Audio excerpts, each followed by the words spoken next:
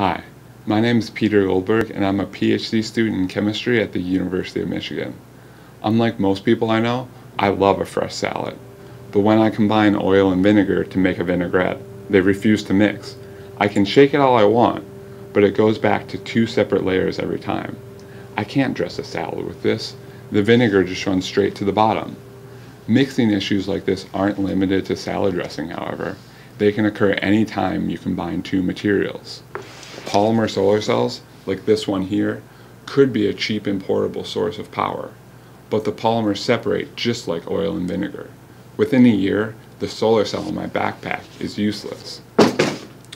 To fix our mixing crisis and make a salad dressing, we can add a third ingredient like honey. Oil and vinegar hate touching each other, but there are parts of the honey that like the oil and other parts that like the vinegar. The honey squeezes itself in between the oil and vinegar to create a barrier. They are no longer touching, so there is no separation.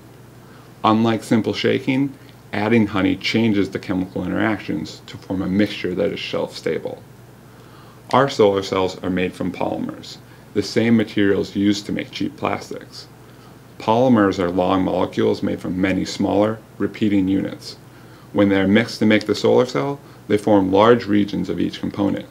Shaking the mixture helps, but to make a solar cell that lasts decades, we need to mimic the behavior of honey. We did this by adding a copolymer, made by combining one unit from each of the two polymers in the solar cell. It would be attracted to both polymers because it contains a piece of each and creates a barrier between them similar to honey.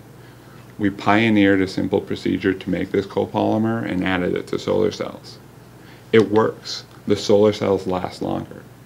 However, they made less power, so the mixing is better, but not perfect.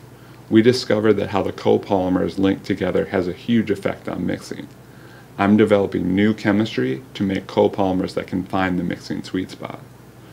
My research shows that adding copolymers to solar cells improves mixing to make them last longer. This is just one step in bringing polymer solar cells closer to you, but even more important is where you can bring them.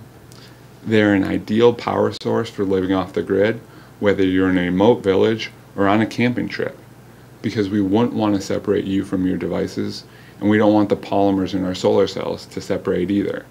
When it comes to renewable energy options, we want to put polymer solar cells into the mix. Thank you.